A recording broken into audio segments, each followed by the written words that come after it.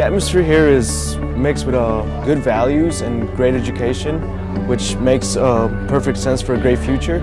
I've had a lot of fa family that's from here. It's really cool to walk the same hallways that my parents walked as college students.